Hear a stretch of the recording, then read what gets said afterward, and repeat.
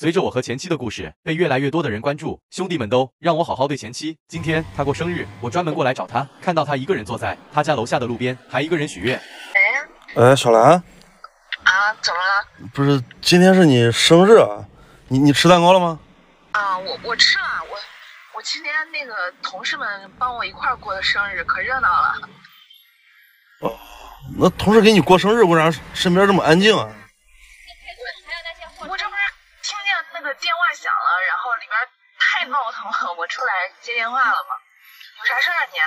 呃，没事，我就问你，你许愿了没有？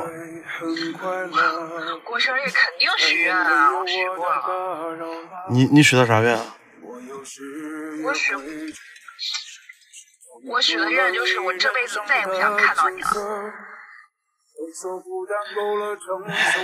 你不想见到我，不想见到我，为啥还接我电话呀？我我就是想着最后再接你个电话，然后以后就再也不要联系了，不要再见面了。哎呀，你你还有事儿吗？我我今天可是主角，我不能让人家一直等着我，我还得进去呢。你还有话说吗？没没话说我就挂了啊。小兰，我都没有关心的资格，还有什么可以见你的？我都骗了自己多久了？今天不是你过生日吗？我我过来想好好给你过个生日。过生日跟你有什么关系啊？咱俩都已经离婚了。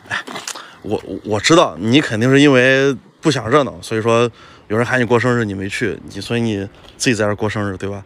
然后我我怕你一个人无聊，我过来生日礼物送给你，送给你的。我不要，你看你看又搁我已这逞强。经许愿这辈子不想再见到你了，你为什么还出现啊？小兰，这就是你的不对了，就是因为你把愿望说出来，所以说这个这个愿望它就不灵了。拿着吧。这也太丑了吧，跟你长一样。一